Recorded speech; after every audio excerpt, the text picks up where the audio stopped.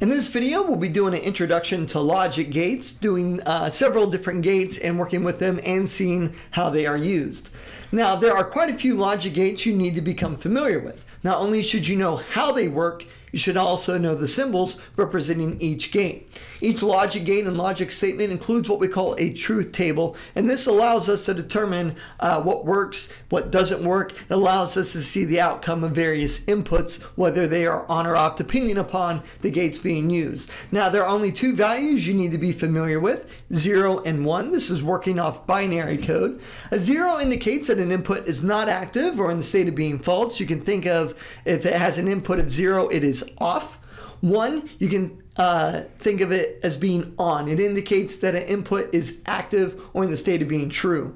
Now, the gates in this video are going to include AND gates, OR gates, XOR gates, NOT gates, NOR gates, and NAND gates. We're going to go over all of them. And we're going to start with the AND gates.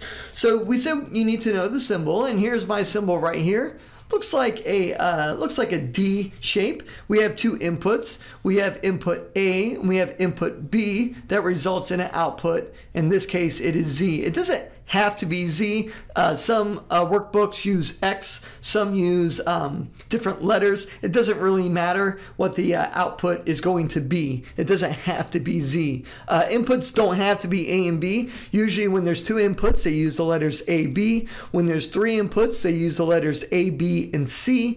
When there's four inputs, they use A, B, C, and D. Now, an AND gate will show a true value if both inputs are true. That means they both have to be 1. So for the remainder of this video, we're going to be using input A and B. So here's our truth table for an AND gate. And what we need to do is we need to fill out this output. And right here it says if both inputs are true. Here, A is not true, it's off. B is also off. That's going to result in a state of being zero. Here, A is not true, B is true, but that's not both of them. That's going to result in a zero. Here, A is true, but B is not. That's going to result in a zero. Finally, in this last column, A is true, B is true. Both of them are true because A and B are true. That will result in a value of 1, it being on or uh, true in a state of uh, being uh, true. So let's take a look and see how this works. Here we have two inputs. We have our A input we have our B input. We have our AND gate. We see the symbol for our AND gate and is attached to a light bulb. Now this light bulb should only turn on if A and B are both active. When I activate A, we see it's active. Light bulb is not lighting up. I can also activate B. We see it is uh, active. Light bulb is not lighting uh, up. When both of these are off, it's not lighting up. When we flip both of these and A and B are both true, our light bulb lights up. Let's learn about the next gate. Our next gate is the OR gate, and we see once again we have two inputs and we have an output. Our symbol is a little different. Doesn't look like a D, looks more like a Star Trek symbol that's been uh, turned sideways. Just for uh, the record here, I've never seen a single episode of uh, Star Trek. Um, I guess I must have uh, missed out, but that's okay. So an OR gate will show a true value if one of the following conditions are true. If one input, A or B, is true, as long as one of them is true, or both inputs are true. Now you may be saying that's not what OR means. There's a different um, special type of gate where one or the other has to be true, which we're going to go over uh, next, actually. So here's our truth table for our uh, for an OR gate. So here, A or B has to be true. Neither one of these are true, so that results in it still being off. Here, uh, A is not true, but B is. So A or B is true, so that results in a 1. Here, same thing. This time A is active, B is not. That results in a 1.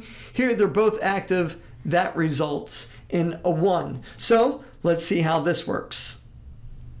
Okay, so I have my two inputs again. This time I have an OR gate, still have the light bulb. Both of them are off. A and B are both zero. Our light bulb is not lighting up. There are three instances where the light bulb should light up. We'll start with the first one where A is on and B is off. We have our light bulb lighting up. The second one is where A is off and B is on. That is lighting up as well. The third instance, when both A and B are on, it should also light up. And it does. We're going to learn about the next gate right now.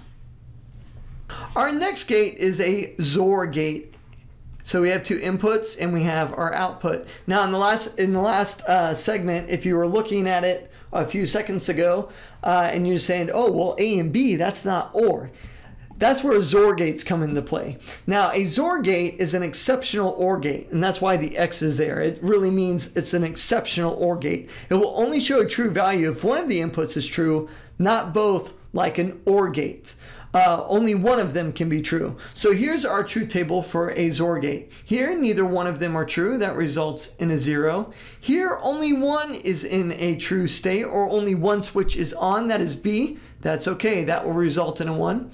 Vice versa here, this time A is on, B is off. That will result in a 1.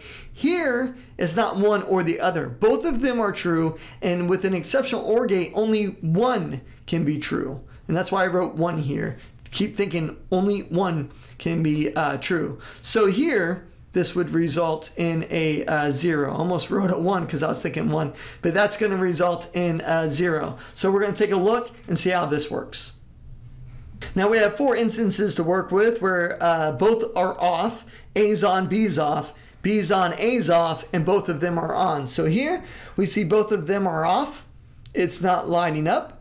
If I turn A on and just A, it will light up, so that's working. If I turn just B on, it should light up. It does. When I turn both of these on, it should not light up and we can see that it's not lighting up. So that's how an exceptional OR gate is different from an OR gate. A regular OR gate will allow both switches to be on, which will result in a 1. With an exceptional OR gate, it can only be one or the other. It cannot be both.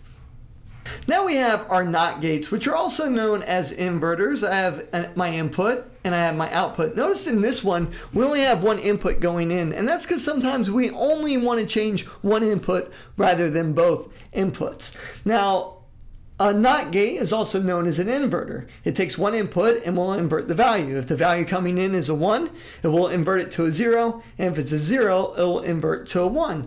So if my switch is off, once it comes all the way through this inverter, my 0 will change to a 1.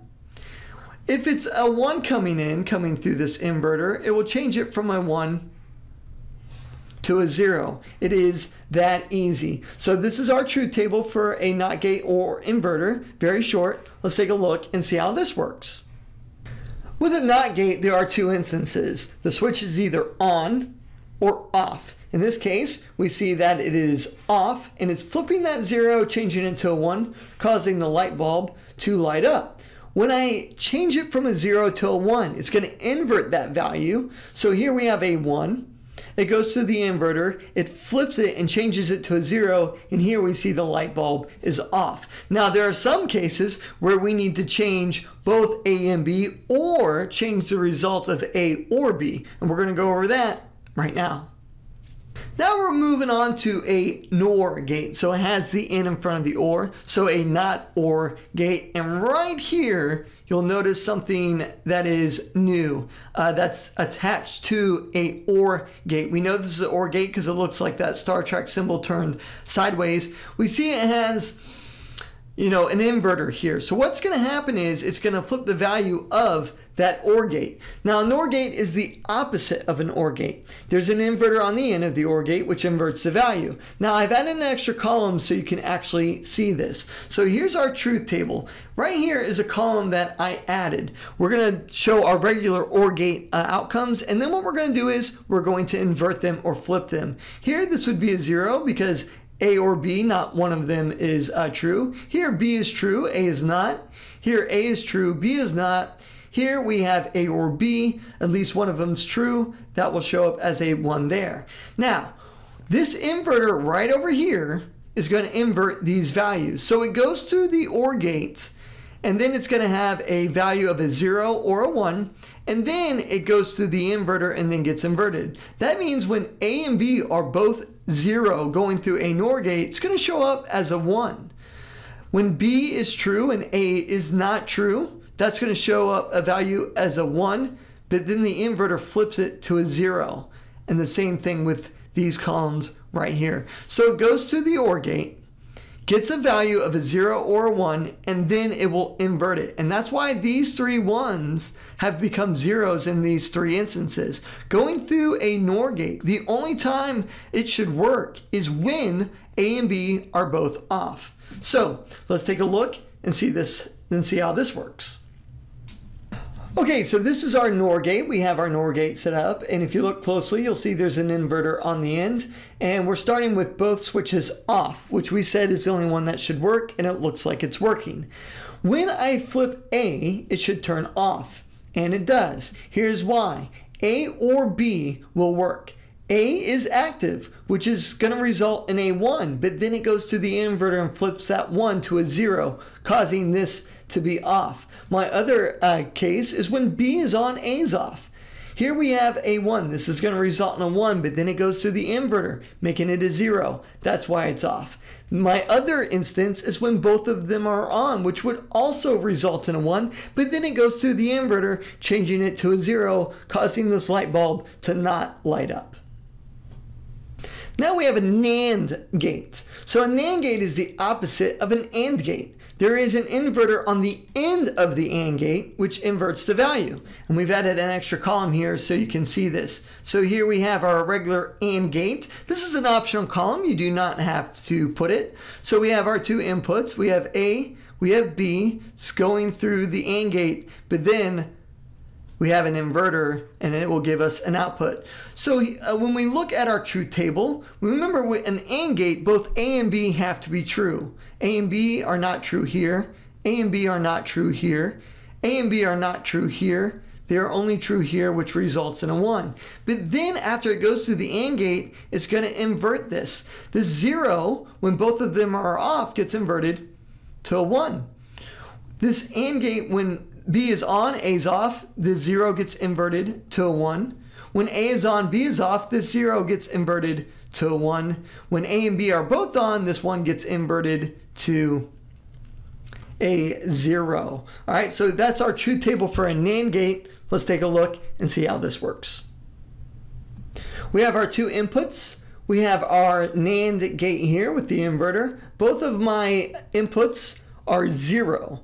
That makes, uh, when it goes through the AND gate, a 0, but then that 0 gets inverted to a 1. There are three instances where the light bulb should light up based on the AND gate. When I flip A on, B is off, that will result in a 0 through the AND gate and go through the inverter. And here, I can see the light bulb is still lit up. Same thing, if A is off, and B is on, we have a 0 and a 1. That results in a 0, but then the 0 goes through the inverter. So we have one instance where the light bulb lights up, our second instance when both of them are off, our third instance when A is on and B is off. If both of these turn on, it's going to, the light bulb will turn off. And here we, it does. That's because we have a one and a one. Both A and B are both one. That results in a one but then it goes through the inverter, changing that one to a zero, and that's why the light bulb is off. I hope you found this video helpful. In the next video, we're actually gonna work through drawing some logic circuits and working out Boolean algebraic expressions.